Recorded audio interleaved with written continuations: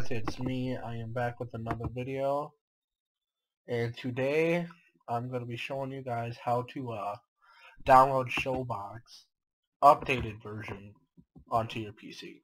Uh, I received comments on my last video of the link that I showed you guys wasn't working. It would say corrupted or it just didn't work. Um, for that, I'm going to show you guys a new one.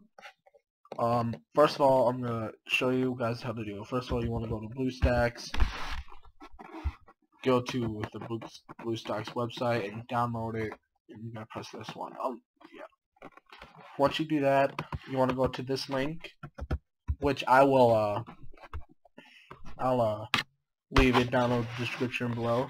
But this link is up to date, and because there's no, like, preview this is it so you don't have to worry and all you have to do is just press download and already download it as you can see right here. That's it guys. Very quick update.